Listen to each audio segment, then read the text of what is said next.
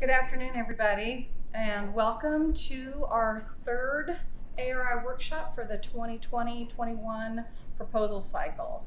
Um, as you can see, we're going to be videotaping this today so that we'll have an access online. Um, we have uh, Moral Kosmichin from Pre-Award who will be speaking with us today, and we also have um, Lana. I'm not going to.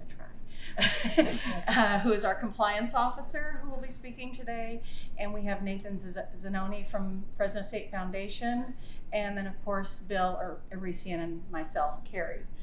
So without further ado, I will ask Morale to come up, and she will be talking a little bit about um, pre-award. Good afternoon, everyone. Um, as Carrie said, this is our third ARI workshop, and we thought that talking about pre and post award processes are crucial to make sure your ARI submission is a smooth one.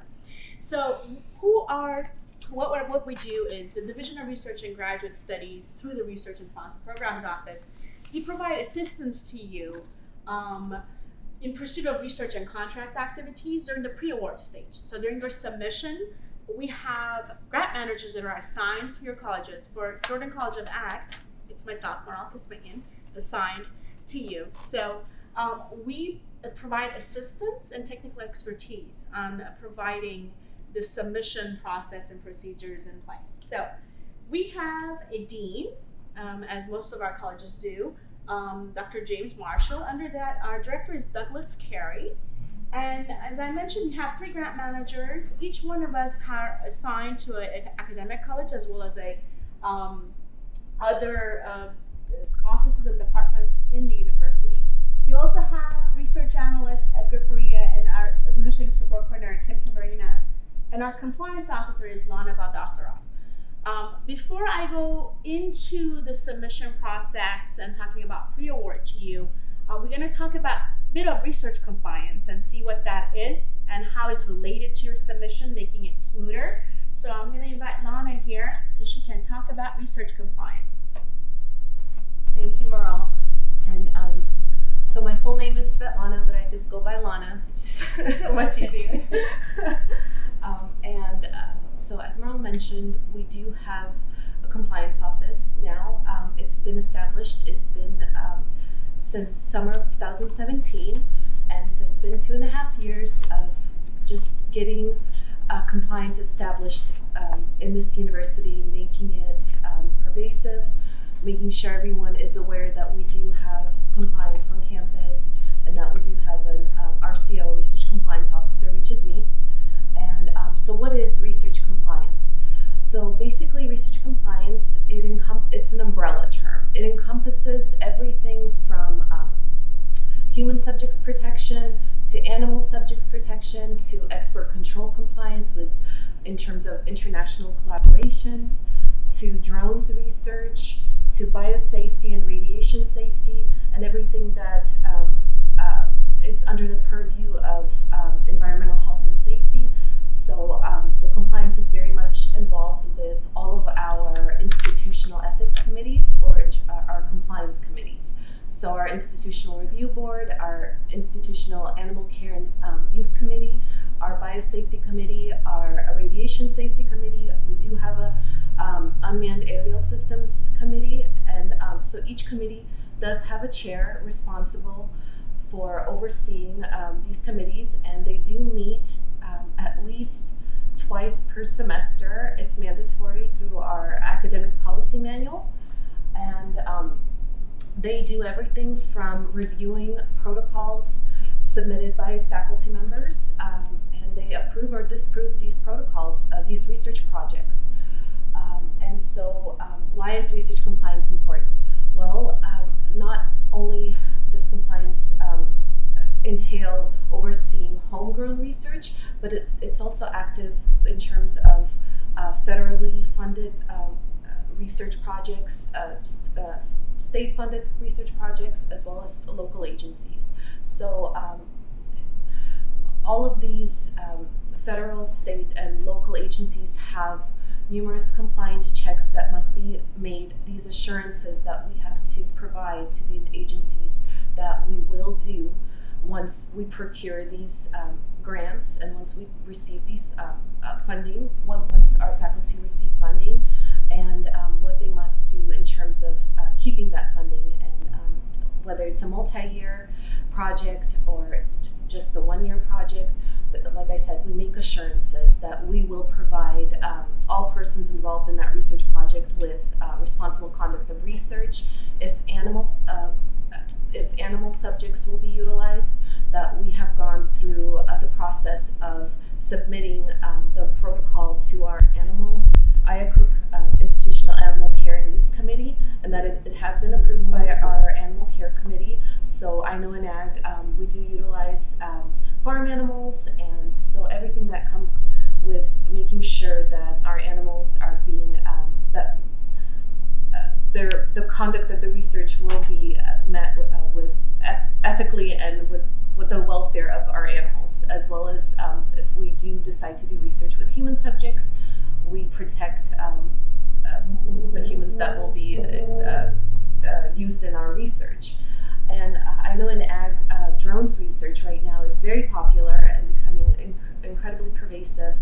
And um, we do have, like I said, a, dro- uh, a drones committee and a chair. So um, all of all of that research also has to go through um, that committee to make sure we receive approval to conduct the research before we move forward. Um, and yeah, so we, you know, everything from making sure we uh, submit uh, conflict of interest, we file those forms, to making sure our uh, faculty and students and staff, all persons involved in the research, will undergo. Um, whether it's human subjects protection training, animal subjects protect, pr- protection training, or RCR training, responsible conduct of research training. And we do, as an institution, subscribe to Collaborative Institutional Training Initiative, or CITI program. And so this program is free of charge to all persons on campus.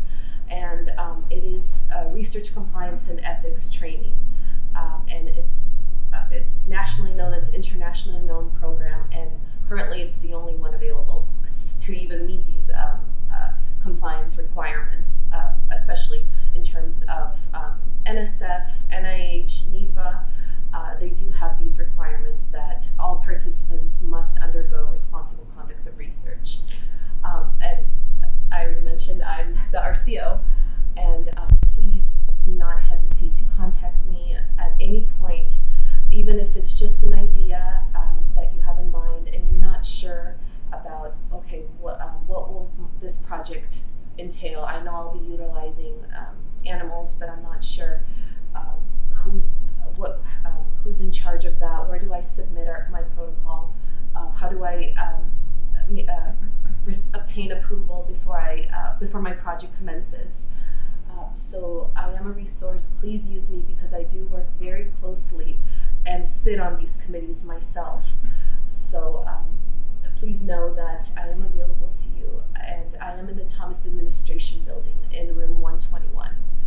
Um, and what can I do for you? Uh, like I mentioned, uh, to make sure that we fulfill all of our requirements for federal, um, state funding, uh, local funding, as well as just homegrown research, because um, we do have a lot of that going on. A lot of our faculty members and um, students, we have a lot of homegrown, amazing research on campus, and many times our faculty don't even know that, oh, wait, um, my student will be utilizing animals in this project. I didn't know we had to.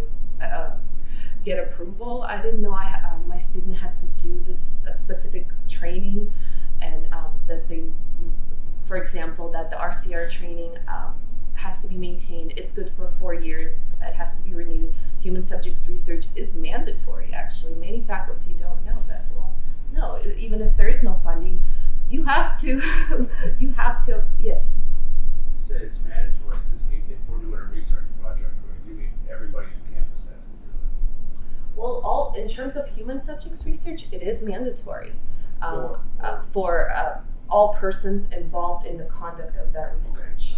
that's So, um, faculty, fellows, students. Well, I just got concerned a minute when you said everybody, and I'm like, I, I haven't done. Oh, I, I, I apologize. I meant all persons involved in the conduct of that specific project. Yes. So, if, if they will be actively involved, then they must undergo the training.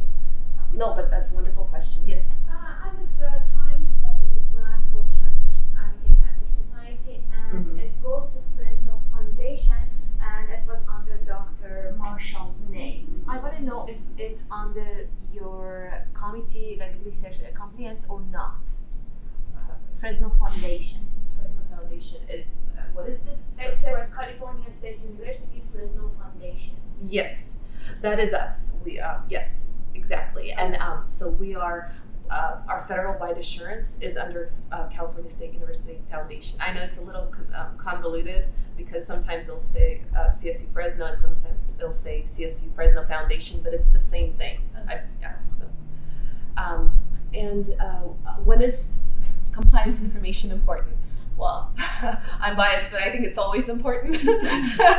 um, um, like I said, um, the main thing for compliance is making sure uh, faculty are protected, our students are protected, our funding is protected, and um, we do all of the assurances we make in the at, at the initiation of the project that we follow through on all of these assurances and we make sure that we do indeed meet um, all of these compliance checks and we as they are um, a lot of these policies and regulations are ever changing and um, yeah i'm please use me I, i'm here for a reason don't hesitate and uh, do please tell your colleagues that i am available for any and all help yes carrie I think the most important thing that you said there was that you're protecting our funding. And um, I just wanted to let people know that I have been on a university campus before where compliance was not met.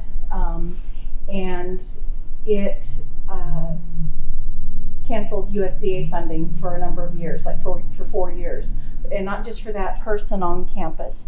If you are not in compliance, it could affect all funding from that funding source on campus for um, extended length of time. So we do it's want to get unfortunate, but it does happen. Yeah. Thank you so much for saying that because some it, um, as a lot of the times there's a saying that says it's not a problem until it's a problem.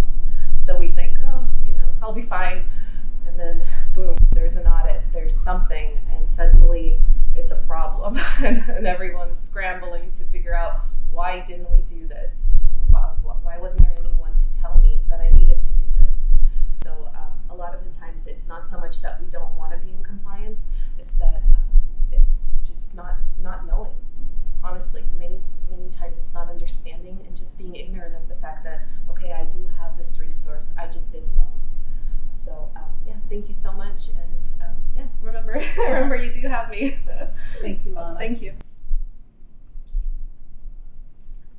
So as Lana mentioned, um, we want to be preventive, not reactive when we are submitting proposals and then managing if there are any issues coming up. So specific to ARI, um, what we do best is your budget and budget requirements. Um, we, as an office, have many managers that have experience creating budgets.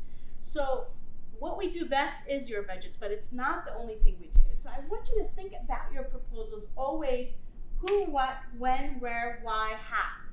That is the summary. You're always thinking about when you're building it, even putting a project summary together. These are the headers you should be thinking about. In layman terms, first, what needs to happen. So, we have a project information form in our on our campus that is an internal form that needs to get approved. And this little uh, blurb here is the compliance aspect of that. The reason we talked about research compliance first is because it's heavily linked into how we collect this information. So we're gonna go through this right now, and I'm gonna do it um, slide by slide. So I'll stop at this slide. So if you have any questions, we'll answer them, and then move on to the next one, and so on. So who will be working on your project is extremely important. Personnel effort is usually the 80-90% of your budget in most uh, cases. So we are looking to see if you're going to be receiving reimbursed release time on this grant, if you're going to have some overload on this grant or summer pay, depending on the guidelines of the proposal. ARI being very specific, um, you know, they allow you to do certain things at a certain time. So we'll be asking you these questions. Are you going to have students working with you? Any clerical staff working with you? Existing staff? New staff? All of those questions we'll be asking as we sit down and discuss them with you. Um, once we do that, what will you what will you need to get it done is the next question. Because besides the effort that you need to put in, perhaps you need to purchase an equipment if it's allowed by the guidelines. If that's the case, again, we're going to be discussing because you cannot just purchase any equipment. I'm actually working on a JCast um, question right now where a industry partner would like to purchase the equipment and put it on our campus here. We cannot just say, okay, let's put it anywhere. Power requirements are important. The size of the equipment is important. Facilities needs to approve it. So those questions again, we're going to ask you. When will these activities occur? Is the next one. ARI, uh, Campus One, a System One is a three-year project, so it has to be within those time periods. Sometimes you have specific aims and goals that perhaps go for a four-year, a five-year. So we will discuss it to bring your projects down to that um, timeline period, perhaps to maybe do a pilot project or a start a smaller version of the project and then move it forward. Where will the work be done is also important. Um, ARI, um, they value, I think, at the state level, collaborative partnership work. So you would like to probably encourage your colleagues from other UCs, CSUs to work with you.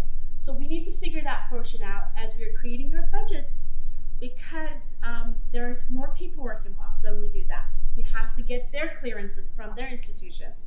If it's an industry partner, which is highly recommended, again, we have to talk to these companies, and sometimes they take a little bit longer than a university getting those approvals in place and so on.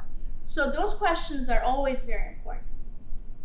What are you trying to accomplish also? The why is important. The reason we do this is we are also asking you those compliance questions, the conflict of interest, the special compliance, the human subjects, the animals, the drones, school age children. Perhaps you're working with them. If that's the case, we need to very quickly notify our HR offices because there are background checks needs to happen. Again, we will be talking to our research compliance officer, making sure she has plans in place to be able to collect this information. And how long will it take? How much of yours? Others times, again, it's a, a narrative that we'll be building with you. Uh, for that, we need to sit down and discuss it. Um, we are happy to do it over the phone as well, via email, whatever works for you. But without answering these questions, we cannot build a budget for you. So it's important that you contact us early enough. Our next slide, I'm going to talk to you about some deadlines that we built in for you to assist you so that we can meet those timelines. But do you have any questions about this section?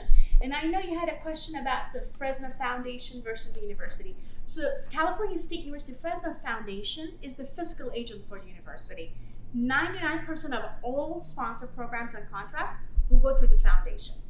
Um, we have some mandates, some of our awards go through the university, but they are very rare. So they are our fiscal agent and we will use their name.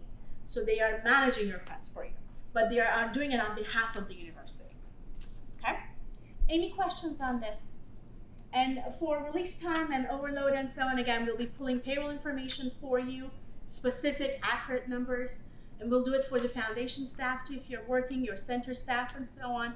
So we'll go ahead and build that budget. So the ARI process, again, there is, this is very specific to this call itself. There is an intent to apply, and that should be done via email. Um, as the principal investigator or your co-principal investigator, if they wish to do so as well, they should email the Larisian. And then if they can remember to copy myself and uh, your department chair, and Carrie, it'll be great. Now, Bill has been wonderful. He's forwarding everything to us. But please, if you could do that, uh, we would really appreciate it. Within your email, the subject line, and Carrie is going to talk about this a little bit uh, later again. Make sure you have the ARI subject line so we know it's specific to this call. Um, as you know, the system one is coming up. Your deadlines is November 10th. It's a Sunday by 11:59 p.m. Um, and then the campus one and the seed grant ones so let us know which one you want to apply for, your name, your department, your college again.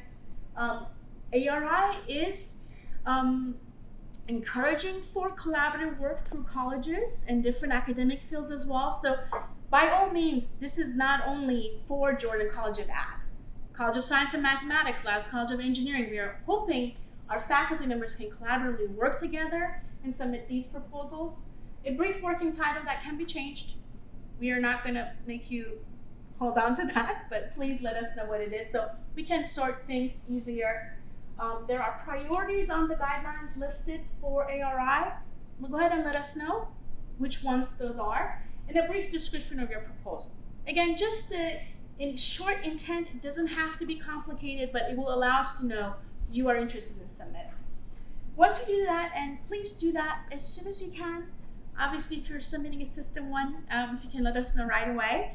Um, we have a spreadsheet we have created in our office as well that we are keeping track of, and the College of Ag has access to. So they're checking those so we can verify them. But in order to meet our deadlines, what I wanted to do this year was by January 13th, contact me so I can schedule a meeting with you for drafting a budget. Your deadlines for ARI is coming up in February. This gives us enough time to build those budgets. So in those meetings, what I'm going to be doing, asking those questions to you, developing the budget and the project information form. There are some documents ARI is requesting from you, specifically current and pending support documents that our office will populate for you based on your submission records, your award records that we keep for you. And also reading your match documentation. Uh, Nathan is going to talk to you about this a little bit later on as well. It's crucial that we get this right at the beginning, at least securing the paperwork that you need, the plan that you have for the match, because it's going to be crucial at the awarding stage. And if you don't have this done properly, it's going to slow everything down. And I'm sure Carrie is not going to like me when that happens. So, um, so I want to make sure we get this all done our whole office is going to be working on the ARI process. So um, obviously, I will take care of Jordan College of Ag, but any other colleges, and we'll with through teamwork, we're going to make sure about 20 to 30 submissions are taken care of. Um, yes, The Dr. Friedman? deadline for intent, did you say November tenth? The intent is whenever, well, there's a November 10th deadline for the system one for ARI, which is coming up, which is a pre-proposal stage for that one. Um, it's a concept proposal, it's short. Um, for that, you don't necessarily have to contact me, but we would like to know that you are submitting one. For budgeting purposes, I can draft one for you if you like, um, but it's not a requirement for the budget narrative. Yeah. So if, but if the intent part, even if it's due February, please do so right away. Yes. Is there a pre-proposal for there? No, only system one. Because the system one, once the system reviews it, they will let us know if they would like to have you submit a full proposal. It'll be an invite only based. So if you're interested, and the system one is again, Kara's going to talk about this more, but at minimum it's seventy-five thousand dollars a year, goes maximum one hundred and fifty thousand dollars a year. Whereas campus has no minimum ceiling wise, it's just a maximum of one hundred and fifty. Okay. And then once all of this done, I would like to get our internal reviews and everything uh, done so I can submit everything to Carrie by January 31st. I want to get everything to our internal system, which is the grant launch system. So this will allow us to do that um, because if we don't have those internal approvals started, initiated, um, it will not uh, be um, helpful for you for your InfoReady submission because Carrie will be checking on those. So we want to take them and take care of them. Any questions on this? Yes. Um, I, I, I know we're going to cover system campus and seed separately and, and in more detail, but it's important to know that you are actually eligible to apply for a seed grant and a campus grant and or a system grant all at the same time. I don't think anybody's ever applied for three, but you can apply, for example, to a system grant and a campus grant, and it can be relatively the same proposal. You obviously can't run both if you're awarded both. But it's important to know that you're not restricted to one type of ARI proposal each year. And particularly for new faculty, we have had occasion where a new faculty has uh, applied for a seed, as they are uh, obliged to do, and also and or a campus or a system. So you do have a lot of flexibility, and, and it's important everybody is aware of that.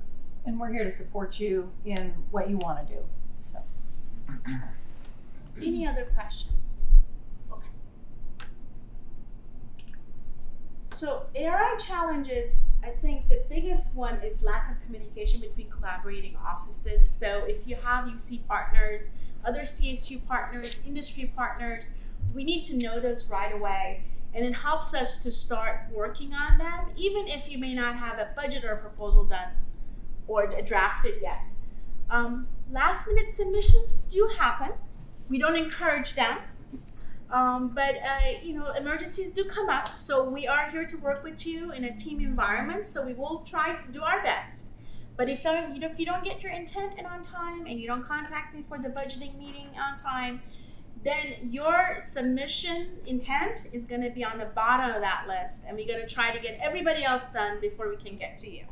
So um, last minute submissions again. It's also up to the Jordan College of Ag to let us know if that's going to be allowed. We're going to do our best to work with you, but that is a big challenge. Although, as I'm told, last year was an amazing year. We did not have any of those challenges, so we are hoping we're going to have a repeat year.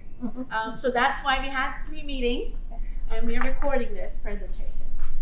Missing required documentation is important. As you're going to see with Carrie, there are a lot of documents you're uploading and attaching.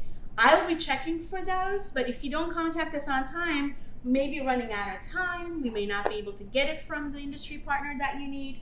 So please, again, that's a big challenge. There are a lot of moving pieces going on. Um, and we want to make sure your application, when it gets to Carrie's level, as she's checking, everything is in there. So it's a smooth submission.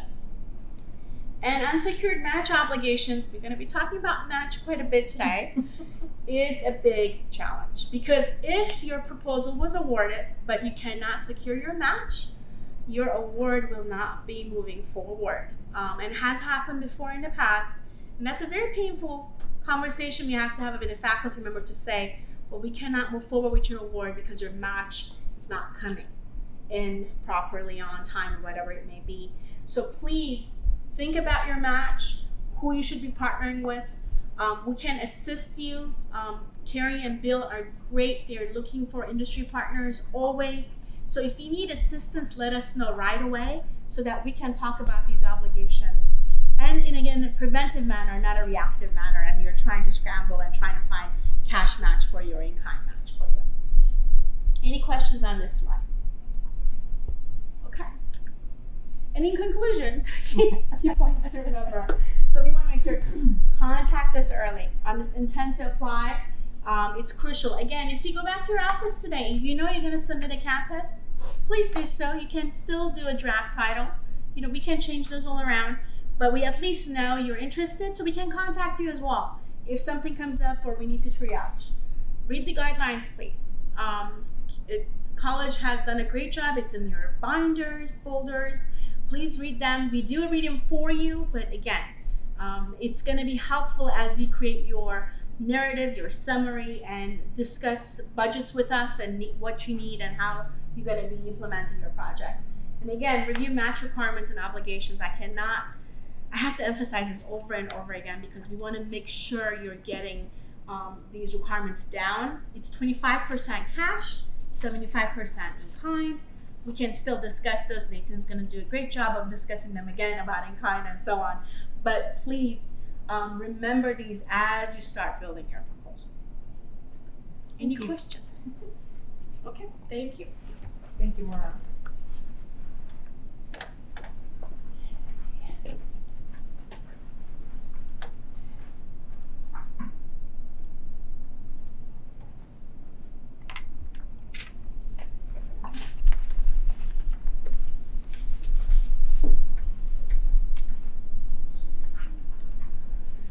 Okay, at this time, we can ask Nathan to come up.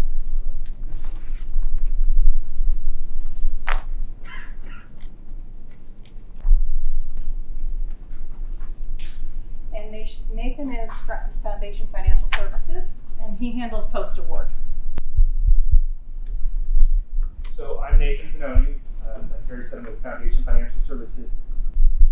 Some of our uh, duties and responsibilities um, over at the foundation um, relate to setting up the cost center, um, the accounting uh, in terms of payables and receivables. Uh, we do a lot of purchasing and procurement when it comes to the various grants and contracts that are awarded and come through our office. Um, we also review timesheets uh, related to, you know, that come through additional employment, uh, release reimbursement time. Um, if you're a faculty member and you're released on a specific project, um, we handle uh, monitoring and tracking equipment that is purchased, whether it's an ARI grant or another type of grant in general. Um, so we, we also, if you have a subaward within your ARI approved uh, budget, uh, we have uh, Shua, who's in our office, and she handles preparing the subaward if you're going to partner with another uh, company or higher education institution or university, for example. So these are all you know services you know that we provide along with uh, the monthly reports that go out from our office, whether it's for an ARI project for your ARI award or for the cash match funds that may relate to your ARI award. So these are just you know some of the activities and uh, the processes that we handle uh, each and every day for the various awards. Now, specifically when it comes to ARI, um, once you're, you know, you, you receive that letter uh, regarding, uh, you know, receiving that ARI award, um, then the next step obviously has to do with the various forms that need to be filled out, whether that be the cash match forms or the in-kind uh, verification forms, and most importantly, to do with the letters of support and commitment that go along with the verification forms we need.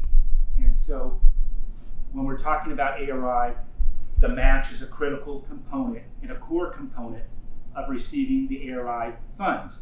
And so if, for example, cash match, we could be uh, referring to, like Morale talked about, an industry partner. You know, and ARI highly encourages and recommends industry partners or local companies to come to the table and you know have that professional collaborative relationship you know and build upon it. And so um, that's important. Also you know you could receive funds from the department of water resources or the california department of food and ag. Um, also you know oreo ag uh, paramount farms just throw, i'm just providing some names of uh, different sources that provided cash match for ari funds we've even had companies like verizon wireless so these are all um, entities and companies and funding agencies uh, that you know collaborate on the ARI project in terms of providing that match, which is such a critical component. And as we discussed before, for a campus and system project, the cash match percentage is 25%. So that, that's also another thing you know to keep in mind. Now again, when it comes to cash match, for example, there are you know as far as the letter of commitment that should be provided, depending on who's providing it. So if an industry partner you're working with is saying, you know, I want to provide, you know, $10,000 of cash match towards that ARI award, but they haven't given you the check. However, I would, we would highly recommend they provide this financial commitment letter that, we have a sample right here, so we know they're making a commitment, they're pledging these funds, and we have this. So this would be considered pending obviously, if the entity, the industry partner, provided you with a check, that would be cash uh, in hand that we would have. But if we don't have that check, then at the very least, at the very beginning stage, we're going to need this financial commitment letter provided by them, and it should be on their letterhead, and it should be spelled out exactly what they're committing to, and that they understand, you know, how their funds are going to impact the ARI project. And is there, you know, a correlation? Is there, you know, is there a benefit here? So that's what's, you know, so, you know, critical.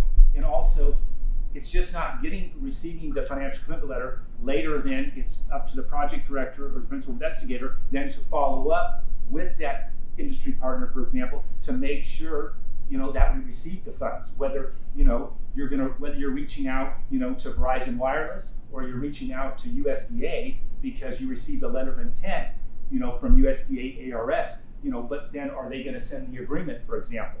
You know, so there's various moving parts. So the follow up and the follow through is just as important as receiving this letter. I mean, this letter is great; it's got their signature on it. But now we need to go the next step. You know, we have the letter, we see what they're saying, but now we need to reach out to them and continue to reach out to them because they need to understand, as a partner in the project, their, you know, their commitment here, their funds is, is critical to actually moving forward the ARI award. If we don't have the match, then really the ARI award is, you know, stopped. You know, it's on hold. It's essentially frozen. So that's what's so important. And so when it comes to the in-kind, which is there is a brand new uh, in-kind uh, letter or template that has come out. These are this was redesigned and you know uh, revised so we could get a more detailed breakdown of the type of in-kind uh, that's going to be provided you know by the industry partner or the company whoever is going to provide the in-kind match. So typically the in-kind match, since the cash is 25%, the in-kind would be 75% because again we need 100% commitment. And so again, this is an example here of how a letter should be laid out. Now, it doesn't have to be exactly like this, you know, word for word or number for number, but this is a good starting point for you to utilize when you're working with that industry partner, you're reaching out to them because they're probably saying, well, what, what do you need? What do you want from me? Well, this is a, kind of a sample right here of what we're asking for. In the past, at times, an industry partner would send us a letter for in-kind, it would be, well, you know, I'll commit or pledge, you know, forty thousand dollars. And again, uh, you know, in the past, sometimes, you know, things weren't scrutinized uh, like they are now. And so now we're asking for more of a detailed breakdown so we know exactly what type of in-kind service that's being, you know, provided and how much those dollars add up to. And what are the categories, you know, the things they're providing, as you can see from here, you know, lab, technical services, data control, instrumentation. So, you know, we would like a concise, clear breakdown that's complete. And again, they should take pride in what they're providing. And, you know, it should look clean and neat and presentable. So if somebody picks this up later, they'll understand what was really provided versus two sentences that, you know, say, well, sure, I'll provide 40,000 between today and 2021.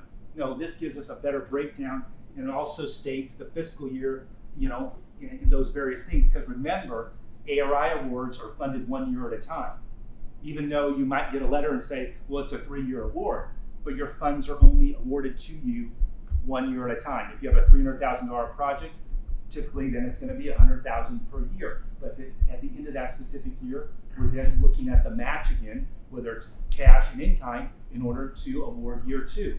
And then we're going to do the same thing at year three. So that's that's the reason why it's so critical when we're working with the industry partners so they understand this isn't just busy work. This is something that we require and that the ARI Executive Director, Dr. David Still, is going to need to review these documents as well, whether it's cash match or in-kind.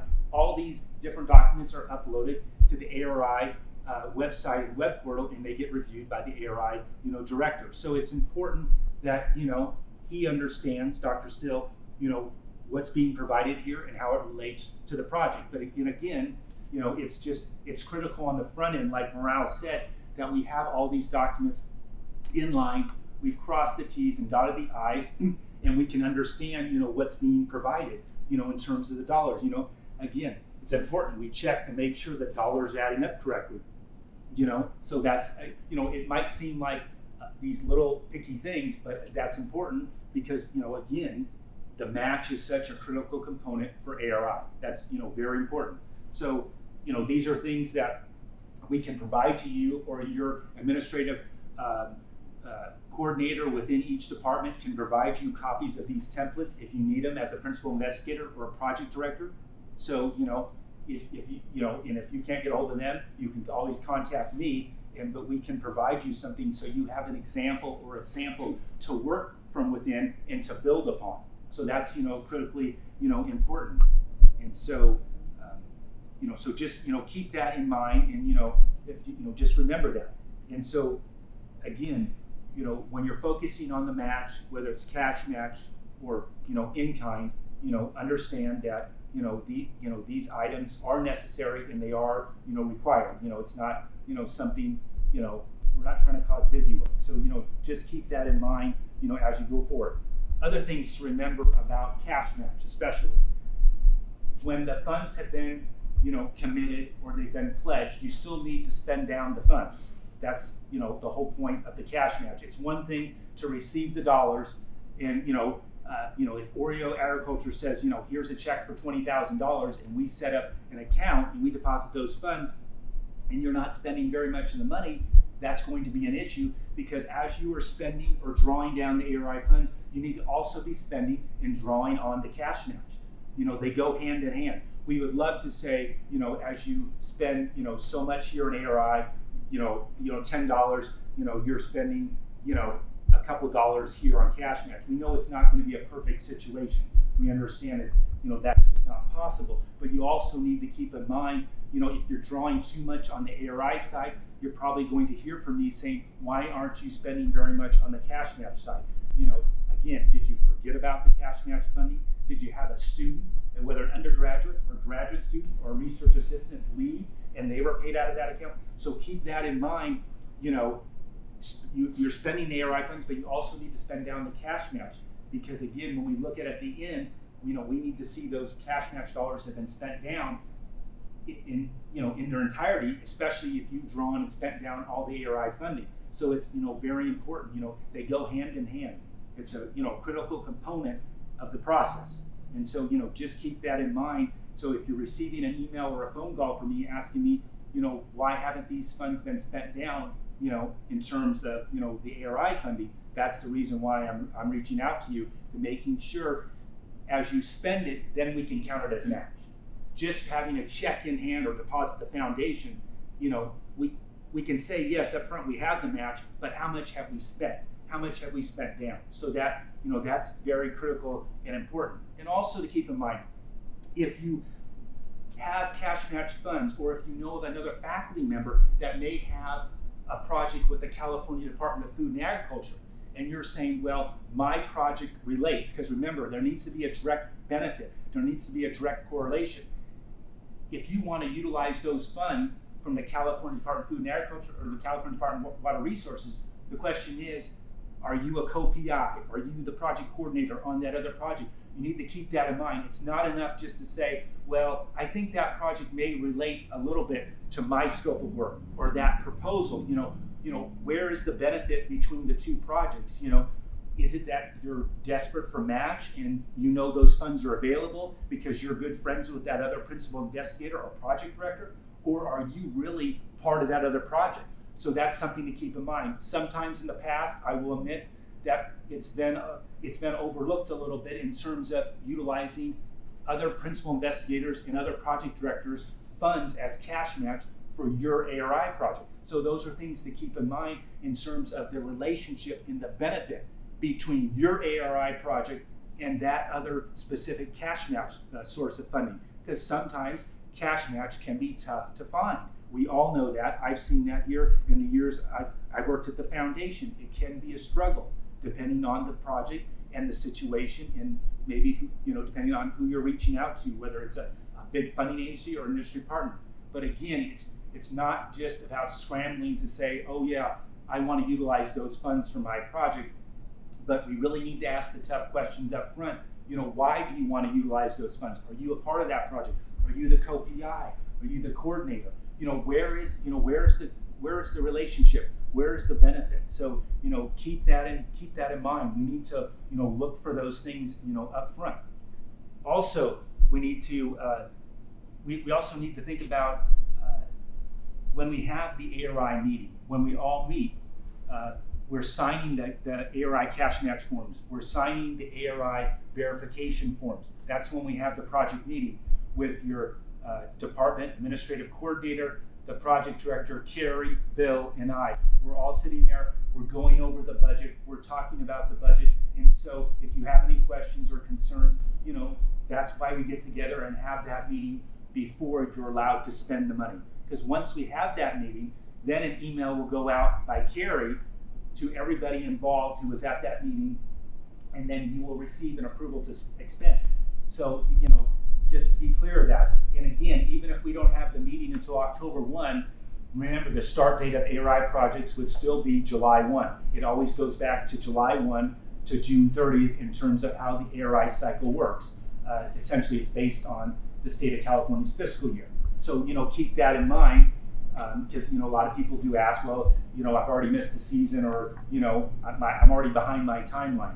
But you know, that's why it's critical, like Morale said, to have all these forms and, and all the cash match and everything, you know, gathered and in hand and you know really ready to go as soon as possible because all that's going to do is delay your project even more based on the timeline in your proposal. You know, so you know, keep those you know keep those things in mind, and also um, when we come to ARI, what's also important to remember is a critical core component of ARI is student involvement. So, for example, if you have a project and you have students and they've left the project and now you're thinking, well, I can't find any other students, well, I'm going to go ahead and do that type of, I'm going to go ahead and do their work, you know, as the faculty member. But maybe it wasn't budgeted that way. Well, first of all, we need to apply the brakes here and find out, you know, how come you were unable to go out and reach out and find additional students? Because really, the core principles and the core values of ARI is really student involvement. And so when a faculty member calls and says, well, the students are have left, they're no longer here at the university, or maybe you know, or maybe they graduated. Well, why aren't you looking for other students? You know, there are plenty of students on this campus, I'm sure, who could benefit from the knowledge and experience and you know, working on that ARI, you know, project. So before you believe that, you know, you're just gonna do it all yourself and not go look for students or reach out to students who might be interested, you know, you need to talk to us because if you're going to be, if you're going to do something like that as a faculty member project director, chances are we're going to have to revise the budget, but we're going to need a justification as to why you're doing that. You know, you know what, you know, why aren't you looking for students? You know, does it have to do with your project? Is it specific to the to the work in, in terms of finding a student because of uh, because of he or she's background? I mean, you know, so keep that in mind as well, because a lot of times when it comes to the budget revisions, we have an ARI budget template, and at times we're going to ask for a justification of why you're moving funds from certain categories, depending on how much is being moved and and really how it goes back to what you proposed. If you're if you're now going to do something that's quite a bit different than what you proposed in your ARI proposal, then we're going to ask you to justify it in terms of you know, a written justification in terms of the changes you're going to propose and that we're going to review. You know, so also, you know, keep those, you know, things in mind. You know, they're, you know, they're very important, and you know, we're looking at those things. And also, um, I think what's, you know, Dr. David Still has mentioned before, the industry connection and the industry partnership with local companies is really where we should look first. I mean, sure, there's the USDA's, there's the California Department of Food and Ag, there's the California Department of Water Resources. You know, there's all these big funding agencies. But again, I think we should try, you know, our best to reach out to the industry partners and, you know, provide that collaboration, you know, in terms of, you know, really establishing a strong connection with them. So hopefully, you know, they understand the ARI program and the processes and the procedures, and that maybe once we reach out to them and they understand it, maybe they're more likely to fund in the future if they really see a strong benefit, you know, from the dollars they're providing for the project. So, you know, it's just making that connection, you know, and establishing that relationship. So, you know, keep keep that in mind. How local is local? Well, when you say that, do you mean like, are you referring to like maybe just Fresno, or are you talking about maybe just the entire Central Valley, maybe Bakersfield to Modesto, or is that what Well, is that kind uh, of what you're saying, or? The, the reason why I'm here is I, I have I got approached when I was at a conference this summer, Okay. and the company um, was a small company. They're in Monterey. That's fine. Yeah, that yeah yeah that's we consider well, I mean it's not Yeah, if, if it's in, if it's in the ag industry, Yeah. in California, that, that's fine. Okay. And, and actually, I think that, um, when we were up in Sacramento, somebody was doing a project with potatoes and collaborating. I don't, it wasn't Idaho, that which, would- which kind of struck me as odd, I think it was like Utah or something, but they were collaborating, um, with a company in Utah to get, to get funding.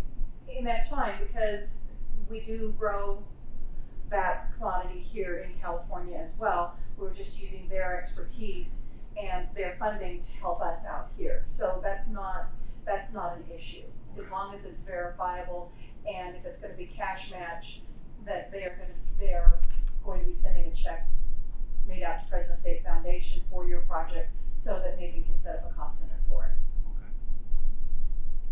Okay. And also keep in mind with ARI, um, another component is the annual assessment that those of you who have worked on ARI or may have not, there's an annual assessment that needs to be done. Um, it- so if it's a three-year project, this annual assessment needs to be done each year, and it, you know, needs to be done typically within forty-five days after the end of the, the, end of the, uh, June thirtieth, you know, fiscal year. And also, at the very end of your project, ARI requires a final report, and that typically needs to be submitted within ninety days after the project ends. And so, you know, these things, you know, are important uh, to complete. I mean, especially, for example, if you have a three-year project and you haven't done your annual uh, report or annual assessment for year one, well, then we're not going to move to year two until you've completed it. So, you know, you need to keep that in mind. Um, you know, and you can give all the excuses you want, but you know, I've heard all the excuses already, so we don't need to go there again. But uh, so it's critically important as you're working on the project.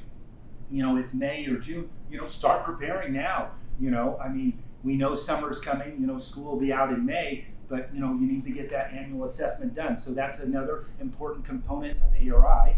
You know, uh, that it does exist. And again, Dr. David Still, um, the ARI executive director, he's looking at those um, annual assessments and final reports.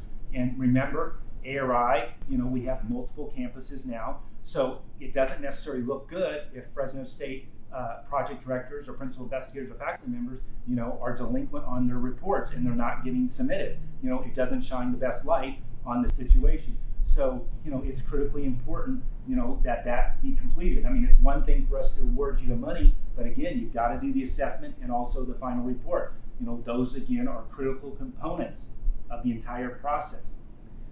The other thing I'd like to mention uh, that I didn't mention before, but ARI does have a policies and procedures manual. This is a copy here, but you can find it on the ARI calstate.edu website. So if you ever have any questions or concerns, obviously you can always call or email me at the foundation, but go out to the website and take a look at the ARI policies and procedures manual. And I believe it's a very good and helpful, uh, useful resource if you have any questions or concerns and you're not sure about something. So again, you know, this is out there. This was updated as of July 1st, 2019. So this is current. This is not something that's been sitting on uh, a website or web portal, you know, for five years, you know, and collecting dust. I mean, this is something that the ARI Executive Director, Dr. David Still, you know, uh, updates on a regular basis. And uh, so this is very current.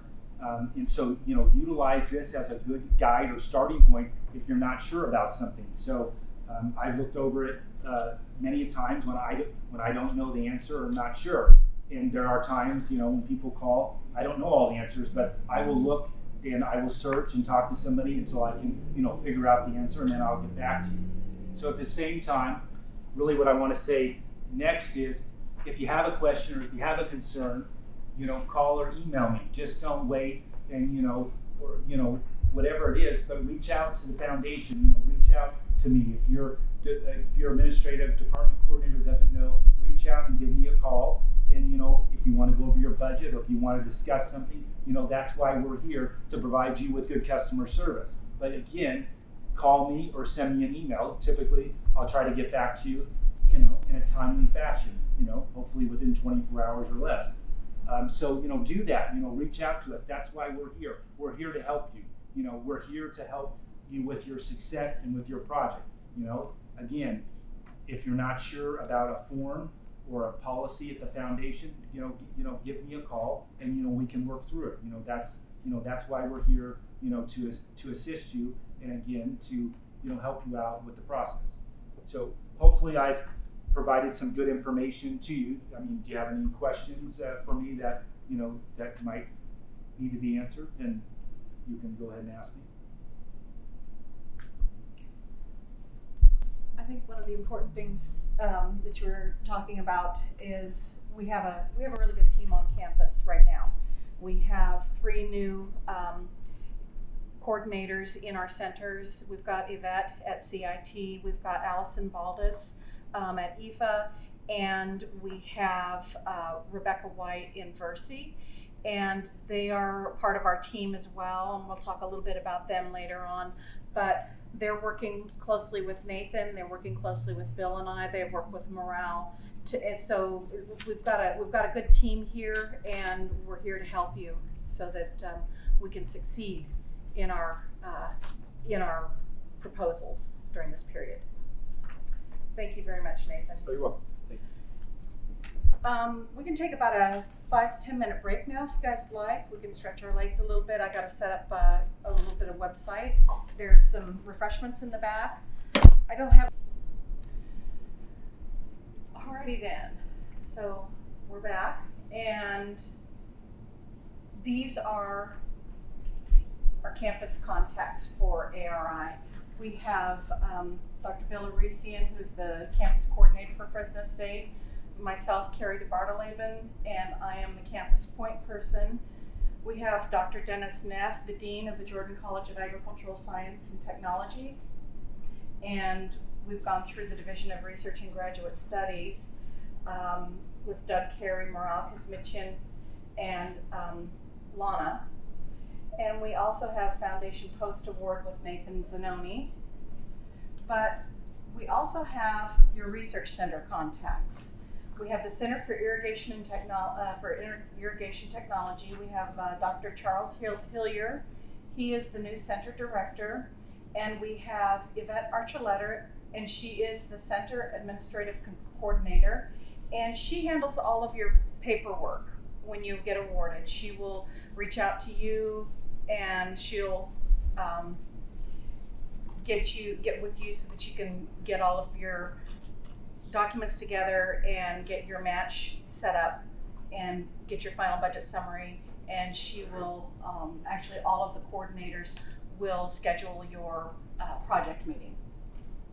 The, the department of viticulture and enology uh, research center we have uh, dr Stephan Sommer and he is the center director there and he's been with us for about a year and we have rebecca white and she is the center administrative coordinator there and we also have the Institute for Food and Agriculture, and we have Dr. Susan Pheasant, and she's the center director there. And we have Allison Baldus, and she is the center admin coordinator there. The templates that we were talking about earlier, all of your your admin coordinators have access to all of those templates. So if you need a template to send to a match partner, just let your center admin coordinator know and they can email it to you. And it, it'll be in, it should be in a, a Word document so it can be changed around by them. Um, it, it's more a guideline. This is what we, they want to see. Um, so they'll get it take, they'll get it together for you. Again, we want to touch on emailing your intent to apply. Um, we did get a notification today from somebody who is who just let us know today that they are in the middle of doing a system proposal, but we didn't have an intent to apply for them. So we've had to kind of scramble around and make sure that they're on our list for that. It, it's it's good for us to know that you that you're in, intending to apply so that we can check in on you and confirm along the way if we haven't heard from you by say the middle of January um, if you're still interested in applying. So we, we just kind of need to know and we can help you with any areas that you might be having difficulty with. But reach out to us and let us know that you're going to, that you want to apply. So you want to talk a little bit about Agricultural Research Institute, Bill? Yeah, so um, ARI, for those of you who are not aware, actually originated on, the Fresno State campus about 22 years ago. Uh, it's supported by state general funds, and the core message and the core importance and the sort of the emphasis of ARI is that in order to receive funding, you have to identify a one-to-one match with industry. So it's meant to uh, promote industry university partnership and research that pertains specifically to California agriculture. Um, there is uh, a list that, that, that, that, Carrie will show you a little bit later that, that talks about some of the areas that are covered uh, under ARI but it's a fairly broad list. Uh, and if you go back and look at some of the research that's been done over the last two decades, and you can do that online at the at the ARI uh, CSU site, and we also have copies of last year's annual report, which features quite a number of uh, articles about different uh, research activities. You get a really good sense of, of, of, what's been funded in the past. It's a fairly competitive process, but again, I know that you're going to be hearing this a lot the, the one-to-one external match is really what drives the the uh, the ARI program, and that's what makes it unique. You know, Fresno State isn't a land grant university, obviously, nor are any of the other participating universities uh, uh, within ARI, of which there are four, including two more that are considered uh, associate campuses, uh, uh, Monterey Bay and Humboldt. And then the other core original four campuses, as you know, are Fresno, Chico, uh, Pomona, and uh, Cal Poly San Luis Obispo.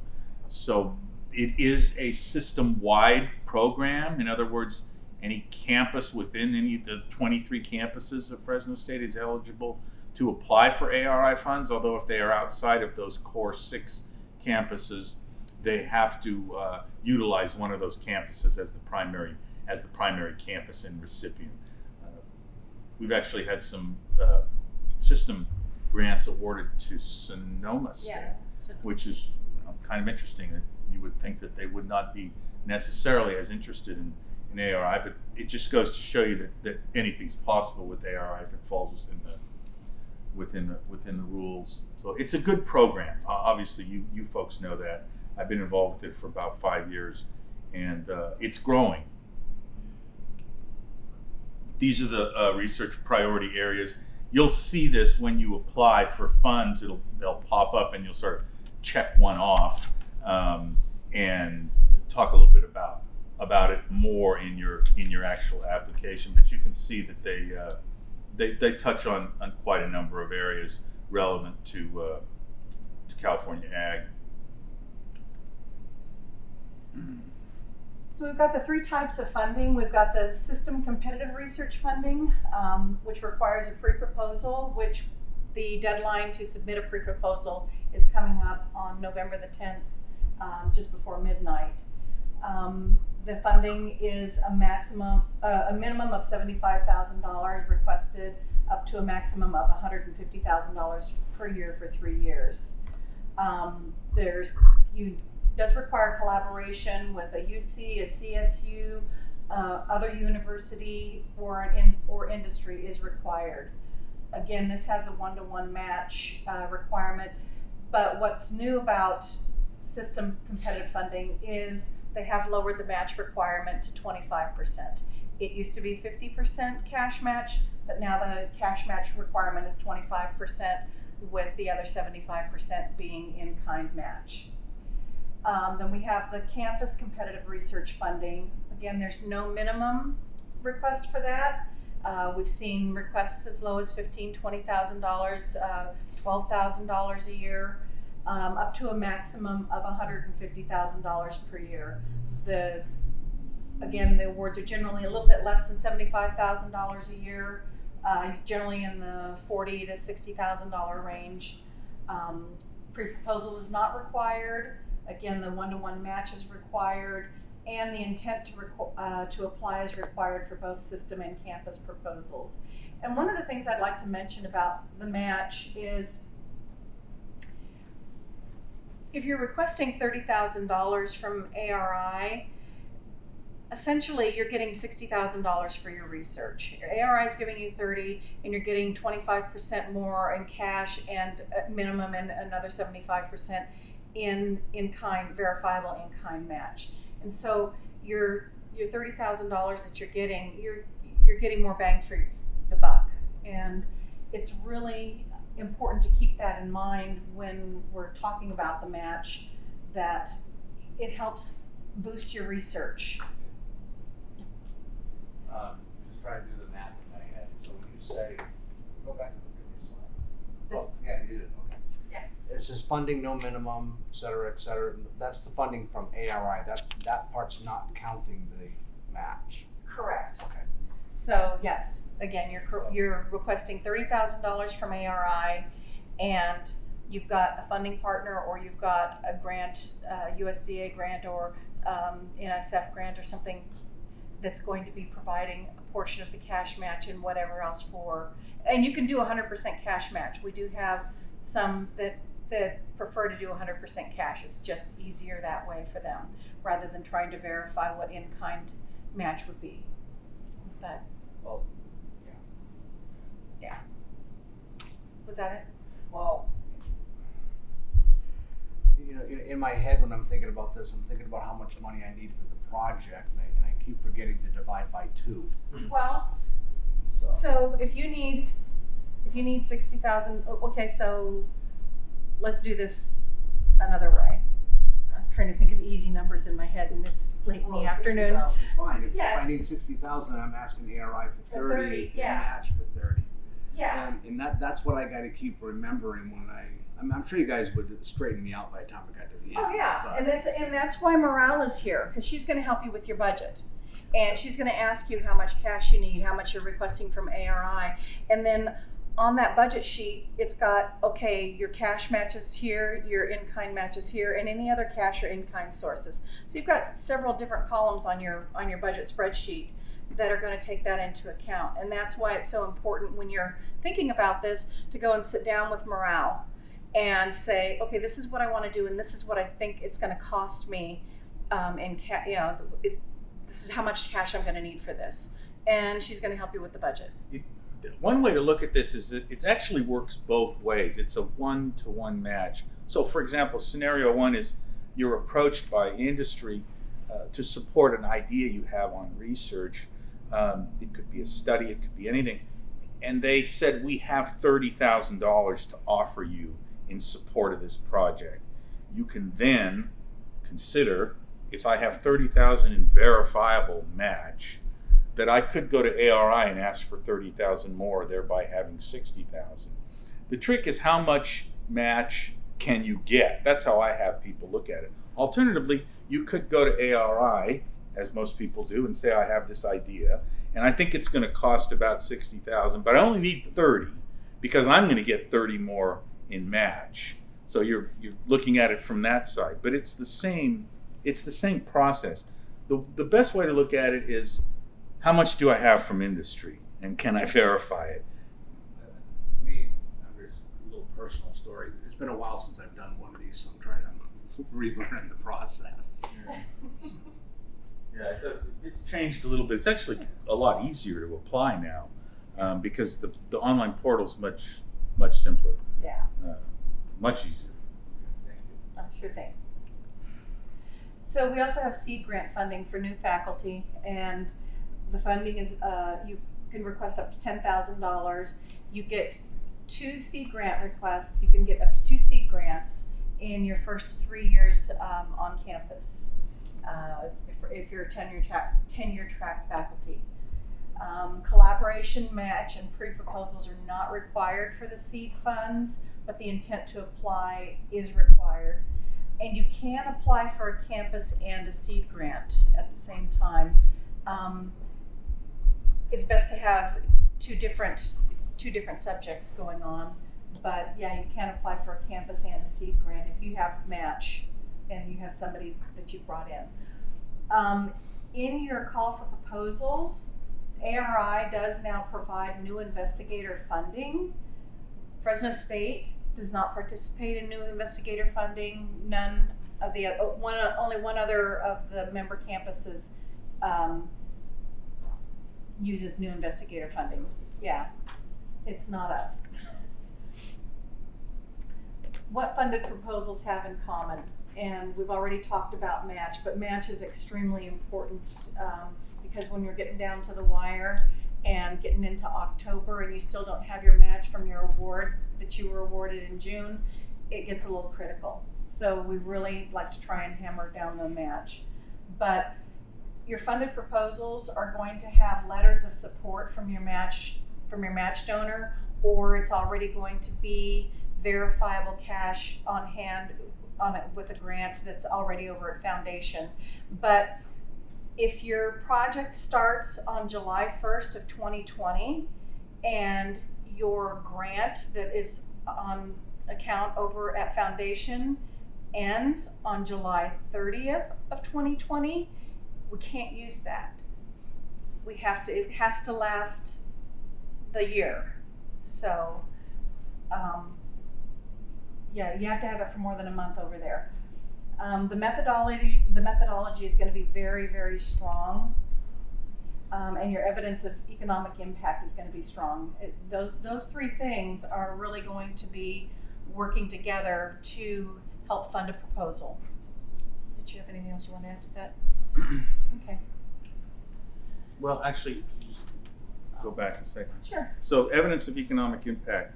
Um, th- this is a, it's not a relatively new requirement, but it is one that has received more attention by ARI, by the ARI brass, shall I say.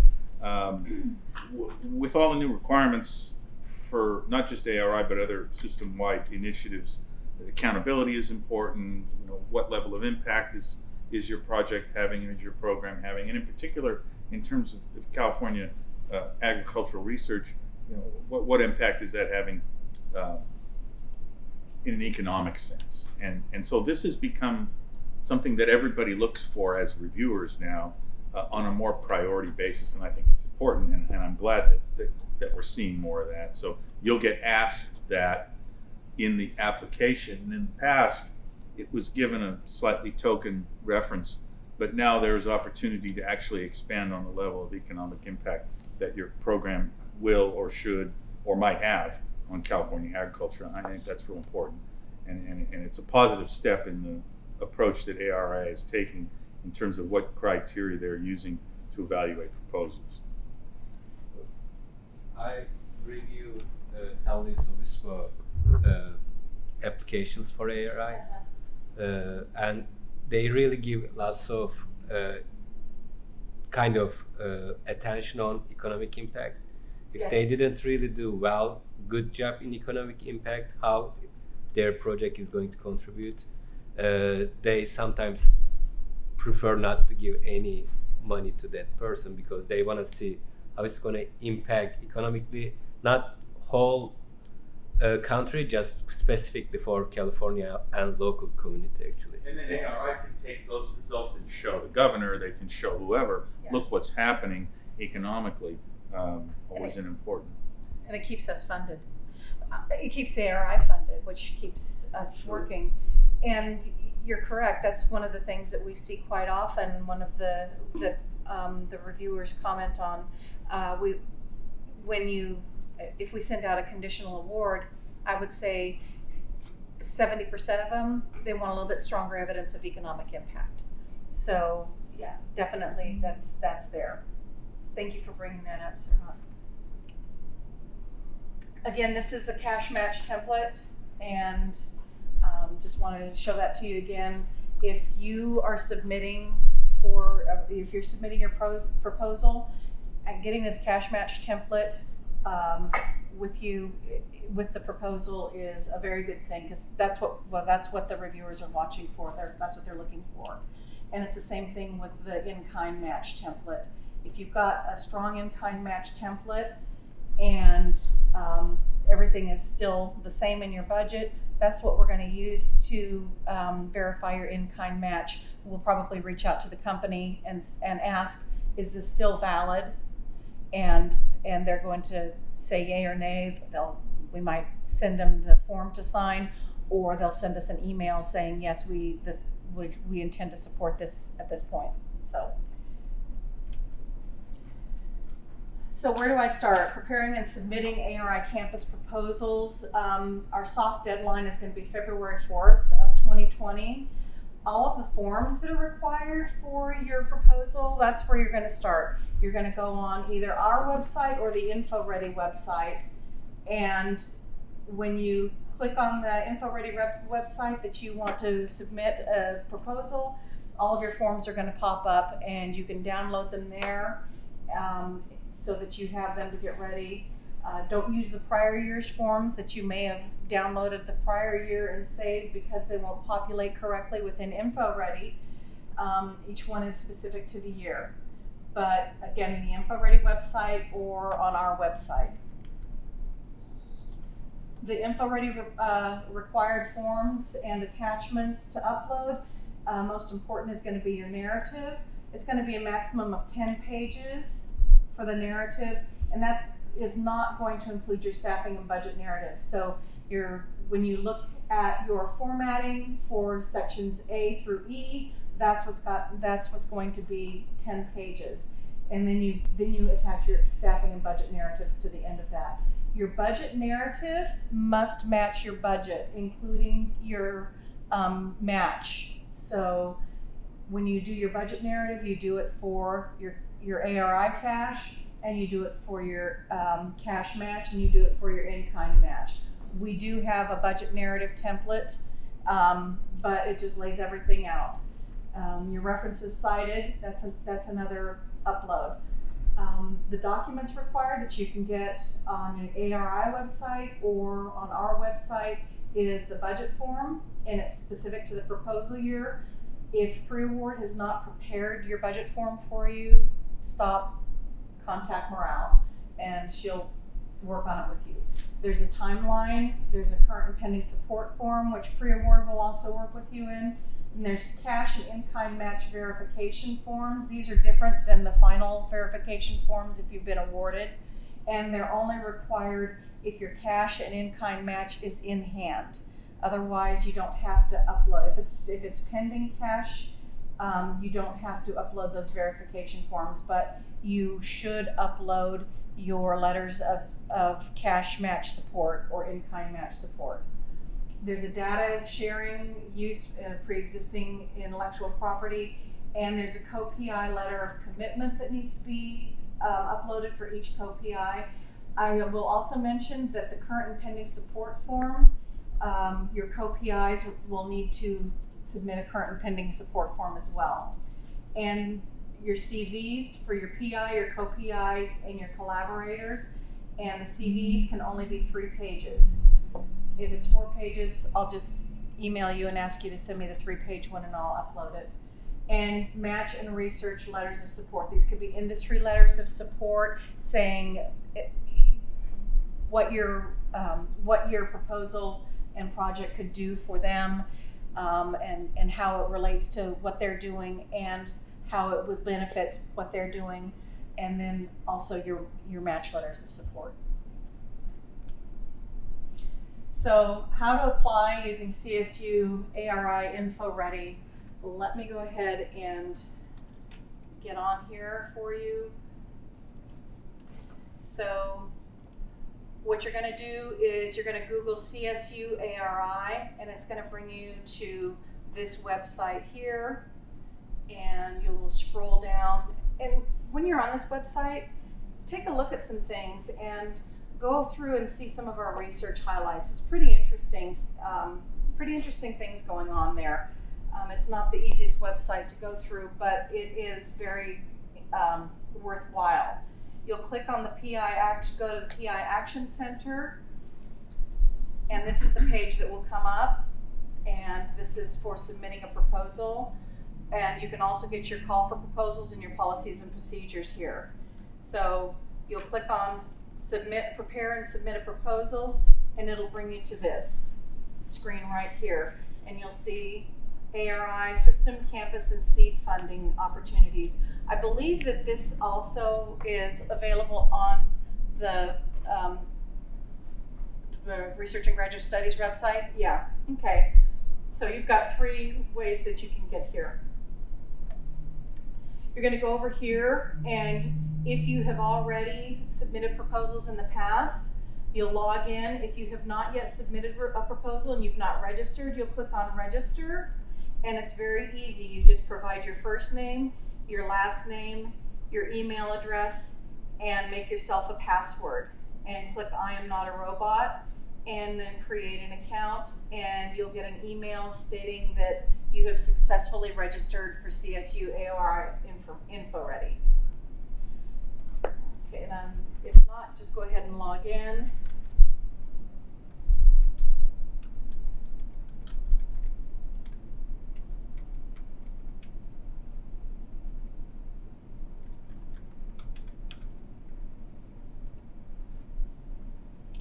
Okay, and then you'll come down here and you will look for, if you are doing a system pre-proposal, you'll click on the system pre-proposal and you'll see here that I've changed the date for um, internally to the 10th of November.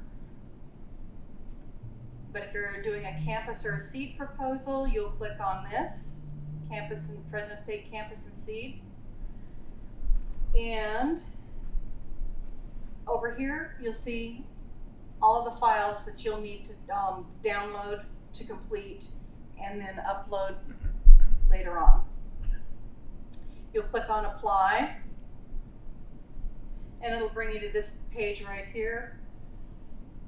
And it's, uh, you'll fill in your PI details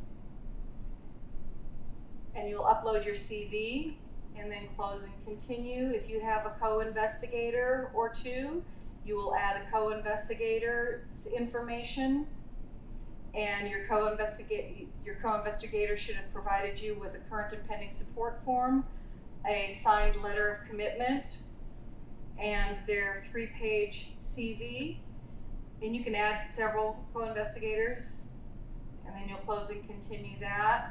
If you have any cooperators, you'll add the cooperator.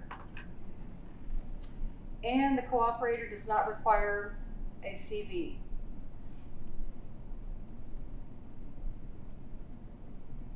When you click on project information, you will go ahead and put in your proposal title there. Um, it will automatically give you an application ID when you save it. You're going to put in your abstract here, which is going to be 500 pages or 500 words. I'm sorry, yeah, I know, right? Whoa. It's gonna take me a while. 500 Just words. checking to see if everybody's listening. ah, and this is where you're going to select your funding type. It will be campus or seed. Again, we do not have new investigator funding. So we're going to do a campus grant here, and we're going to select two years. What's new this year is CSU ARI is collecting some information both on the system and the campus and seed awards. And you will open this up, and it will open a new uh, tab for you. And they're asking for some information. They need the project director's name, the project title, and it's only about five pages to go through. Um, Want to know the issue being addressed? It's a little survey, um, your research topic, the knowledge area, the California commodity, and um, submit form or save and resume later. If, when you submit the form, you will be emailed to you in a PDF format, and you'll download it and save it, and you will upload it at the end when it gets to the upload files area. So you've got that information, and now we're gonna be doing the funding request. And say on year one, we wanna request thirty thousand dollars, and we're not gonna need quite as much for the second year. Twenty-five thousand dollars. Can this project be segmented or partially funded? You have an option of clicking yes or no. Uh, It's up to you. But what I will say, and what Bill and I have seen, is when you click yes and say how it can be partially funded, especially this coming year, we are really going to be pressed for money because the past few years we've had a lot of unallocated carryover that we've been able to fund over $900,000 a year in projects. It's not going to happen this year, and so we have to take into account ongoing projects. And once we take those funds into consideration, what's left over is going to be what we have to provide for new projects. So it could be as little, it could be between three and four hundred thousand dollars for new projects this, for the coming year. So this is gonna be extremely competitive. If the review committee has gone through and there's thirty thousand dollars left, or there's twenty thousand dollars left and you have a thirty thousand dollar project, they really wanna fund your project, if you have put in here that it can be partially funded, they will request that I send a, a letter on behalf of Dr. Nef asking if you can partially, if you would accept twenty thousand dollars. Um, if we don't, if we see no and somebody else has cl- clicked yes, that's who we're gonna go to. We're gonna ask whoever clicks yes on this first. And, um, and then if nobody clicks yes, if everybody clicks no, then we'll probably start asking around. Really, some, somebody once told me that who's gonna, who's gonna turn down free money? I mean, if, if it's just ten thousand dollars, you can possibly re, re, um, rework things and request more the second year. So it's a good thing to click yes on that. you don't have to. This is where you're gonna put in your cash match information. And they're wanting to know if it's a, uh, what your cash match is. It's gonna be, you're gonna pick your fed, your category here, say you have a USDA grant on campus and it just got awarded and, but it's in hand, um, put in the donor agency, which would be USDA, and a brief description, um, which would probably be best to put in whatever the, uh, the title of that grant is. And then the award number, which would be your co- uh, the award number and possibly the foundation cost center number. So, and then you'll put in how much it's going to fund for year one. And if it's, if there's gonna be enough in there, if it's gonna fund for year two as well. Then you'll save the changes. And if that's the sum total of your cash match and you don't need any more, if that, um, is going to be your total twenty-five percent or more, then that's gonna be fine. If you, if you have another match source, go ahead and click the add match and it'll take you through again. Say you have cash in hand for year one, but you, your match is pending for year two. This is what you would do for year two, is add match for year two and it's pending. And this is where you'll add your in-kind match and it's pretty much the same. Select yes. And the category is gonna be somebody local. And in-kind is always gonna be pending. Cause it's sometimes, it's difficult to have services in hand. And maybe it's, um, a local, uh, a local farm that's going to be donating some land use. And that's what you'd put the, the farm name here, and you'd put the land use, and you could put in here, C letter of commitment attached. And the value for year one and year two, and the submission date and the ward notification date. This is where you're gonna put any of your faculty release time in. And this is where you're gonna be uploading your files. And you will upload your project narrative, your references cited, your timeline of activities, your ARI budget spreadsheet that has been prepared for you by pre-award, and your campus internal budget spreadsheet. And this is actually, we found out earlier this, uh, this cycle that this is gonna be really important because this is where compliance comes in. And if you, uh, if you upload your PIF here, then I'm gonna look at your PIF and I'm gonna see that what you're doing has already met compliance. You've already, and it shows us that you've been to pre-award. So we wanna see your PIFs uploaded as well. This is where your current and pending support form will go and your cash match verification form and your, and that only pops up if you put that you have cash in hand. And this is your ARI and uh, your match and ARI specific objectives form, your data sharing, your letters of support. So if you have any additional letters of support, scan them all as one PDF because you can you can only upload one and put them in um, an order that kind of makes sense. And this is your appendices and data in support of your proposal. And this is where you're going to upload that research topic and focus that we briefly went through that was up there that gets emailed to you once you submit it. And once you have uploaded everything, I would say save it as a draft and go back and relook at it in the next day. If you're not under the deadline, or, you know, if you're not, if you're, if you've got time, save it. If you submit it, I can kick it back to you if you've missed something, or you can send it to me and I can upload it. If something was missing in your narrative that you wanted on there, you can send me your whole narrative back, uh, a whole corrected narrative. I can go ahead and delete it for you and upload your updated narrative. it's it's pretty easy. I try not to send things back because once they get sent back to you, sometimes um,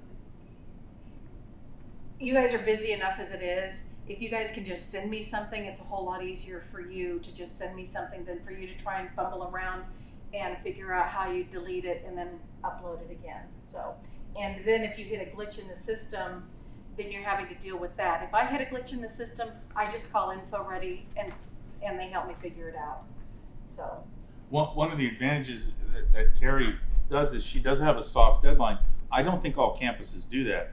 And the soft deadline allows her to actually help you ensure that the application is 100% golden and before she sends it in, before before you send it in.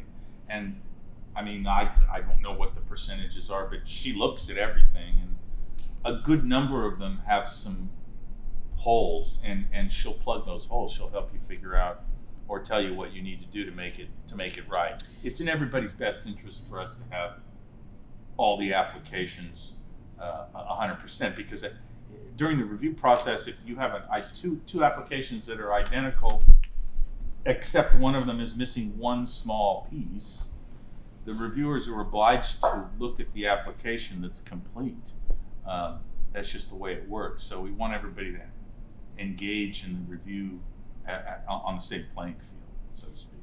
one of the things I will say, the number one issue with this uh, when you submit to me is the budget and the budget um, narrative do not match.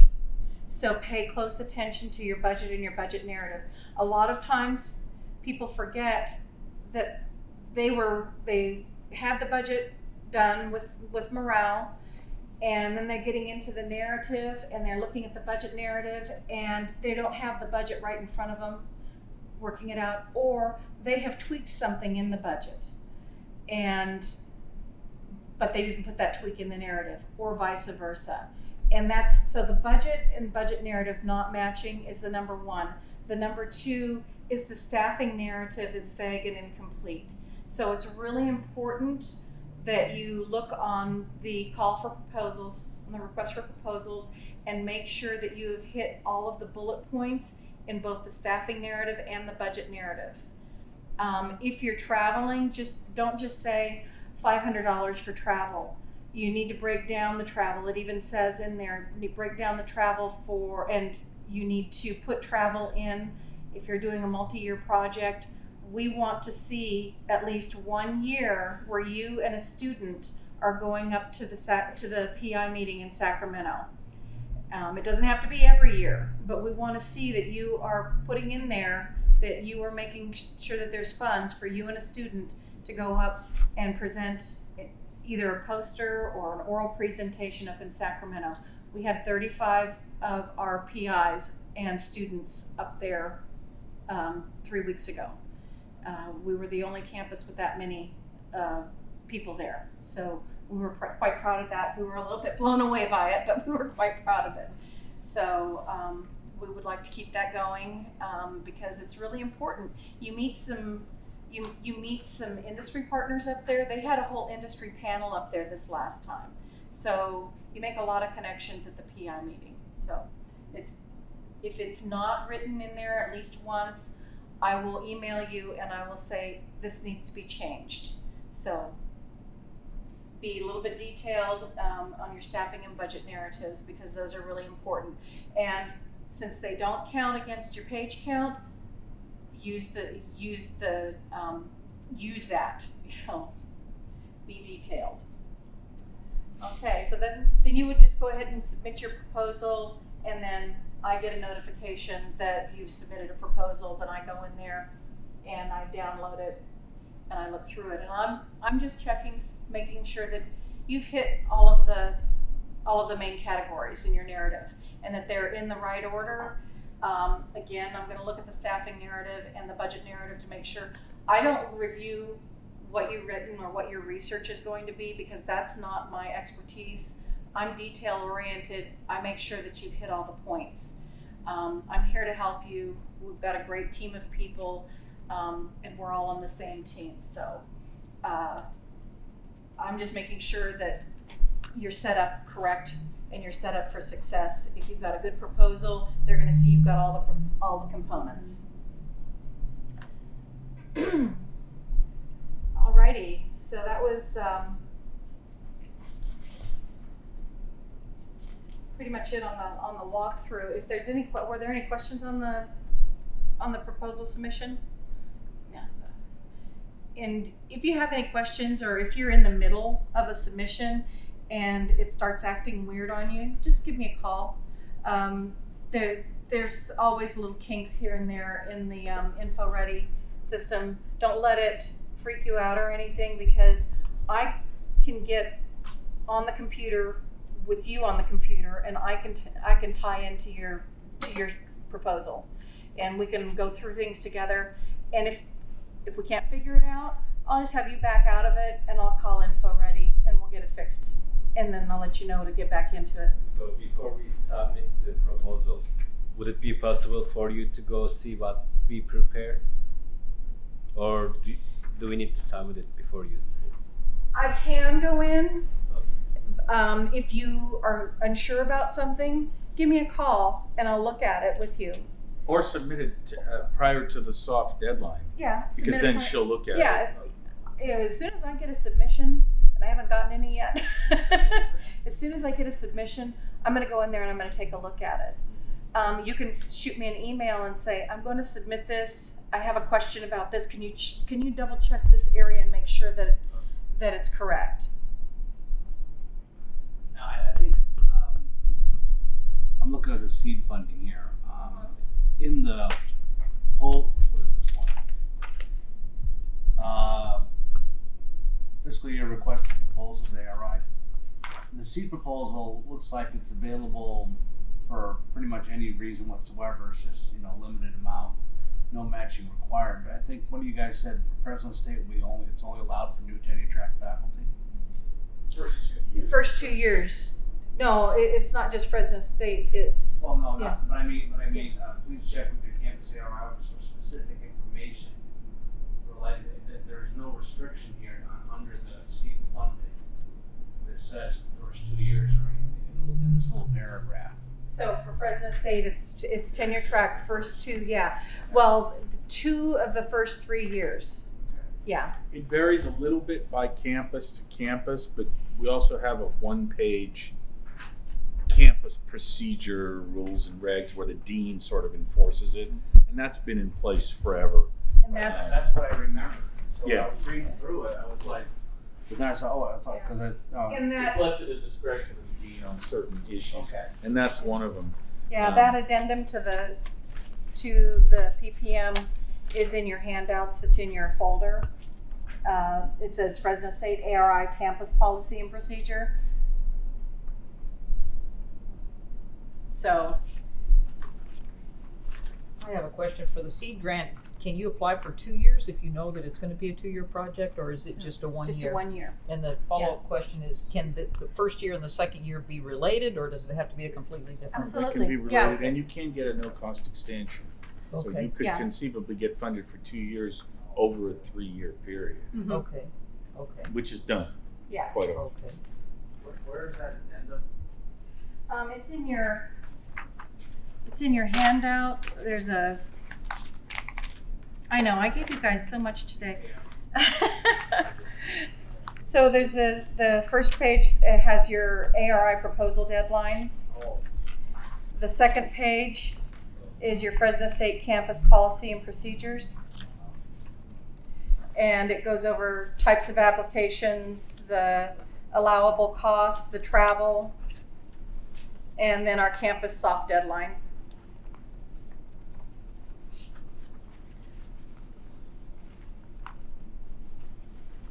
Okay. This, the, but, um, it doesn't state here directly that seed funding. I'm, I'm pretty sure. No, I, Yeah. I believe it is. I'm Yeah. just- Um, are you looking in I'm the not trying to look for a PPM or the? loophole Or anything, I just want Oh, no, no, clarification. no, here, um, actually, it might very, well- oh, look at that, I got it, That was- seed funding, page seven. So it might not be in the PPM.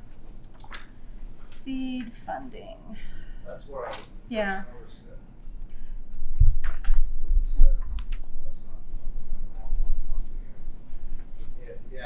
page seven of the, uh, ARI.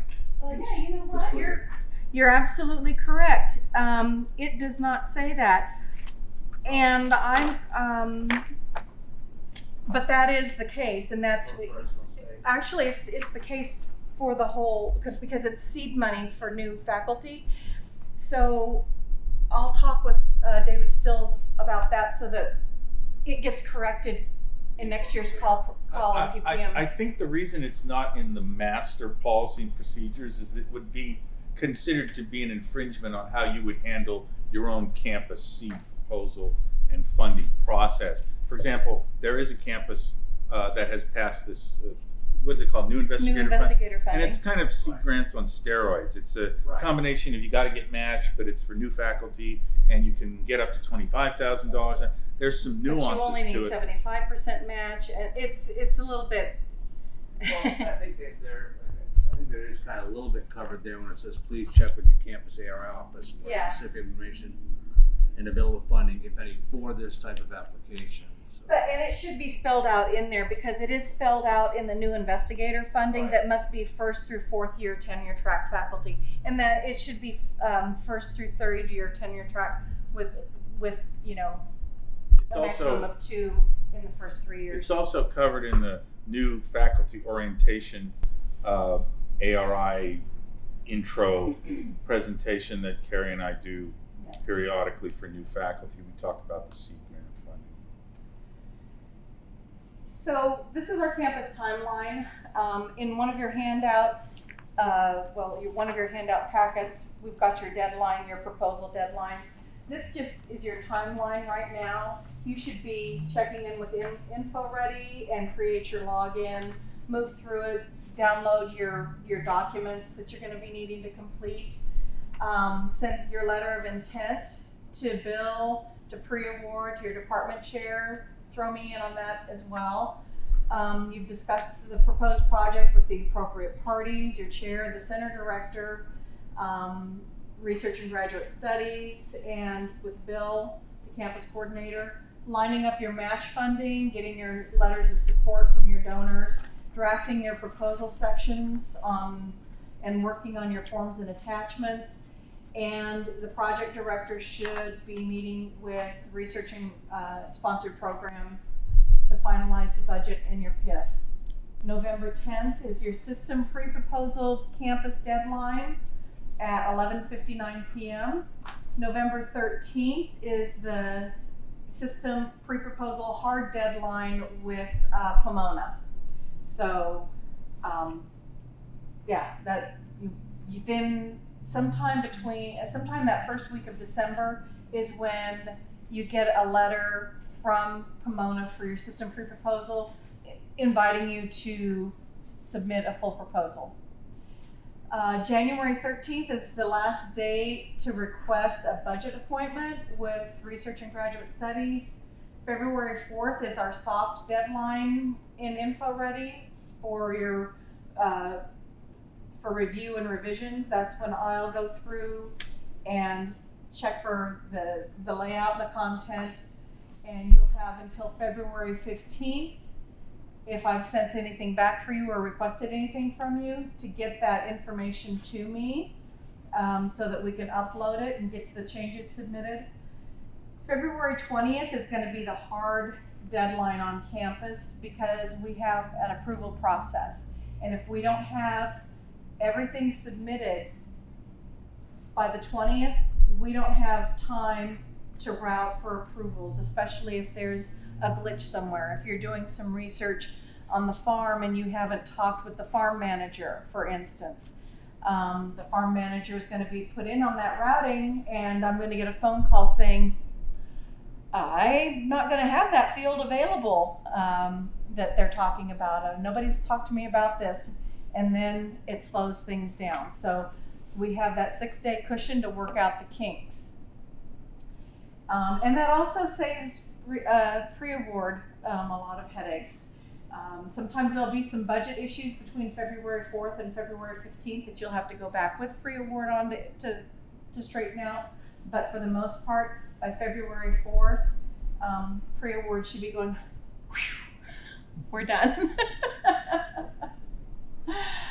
but nothing is gonna be accepted after February twentieth. We can't fast track, um, the approval chain, cause it's, it goes to me, then it goes to pre-award, and then it goes to, um, your department chair, then it goes to the center director, it goes to the farm manager if you're doing something on the farm, then it goes to Bill, and then it goes to the dean. So, but everybody has to, and, and they all look at it. It doesn't just, um, is this okay for me to, to approve? It, they are actually looking at the proposals. So here's the uh, review and award process. Early April is when the review panel will be meeting. Late April, conditional awards will go out. We like your, uh, we like you and we want to fund you. Um, we just need you to fix your budget or we need you to give us more evidence of economic impact or the methodology was a little bit vague on this, that type of thing. Get those to us. Um, and then they'll be re-reviewed. Mid to late May, award letters go out. I think that we had 95, 98% of the award letters out by the first week of June. Uh, we had a few stragglers, and then we had some things that were not able to get matched, so we were able to send out award letters later on to other projects. July 1st is your project start date. August 30th for your ma- as your match verification must be complete.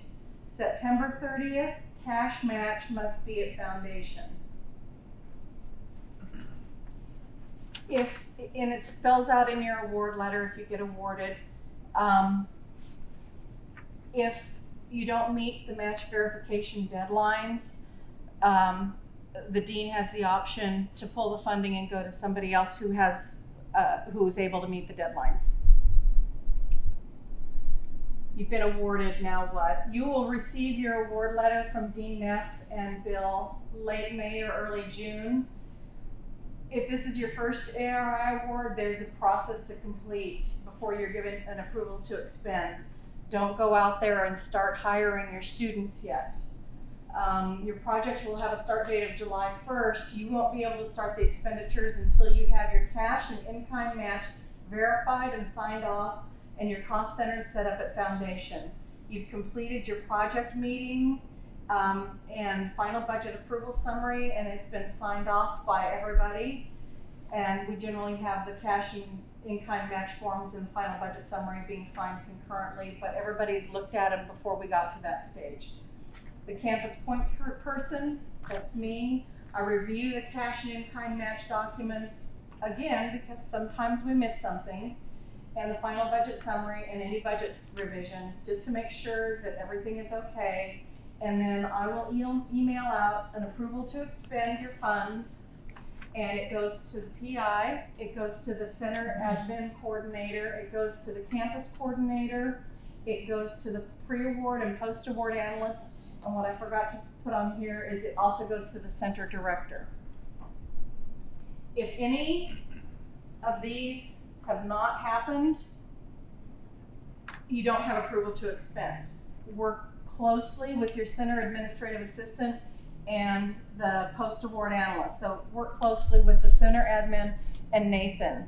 When you've been awarded, your first phone call should be to the center admin and um, your second phone call should be to Nathan. So um, if you have any questions on this, Do you have any questions in general? All right then, let's go out there and submit some proposals. Again, give us a call, email, and use your center admins. I know that they're new. They don't, they're gonna, any questions that you have for your center admins, if they don't know the answers, they'll contact Bill and I, but this is their learning curve as well.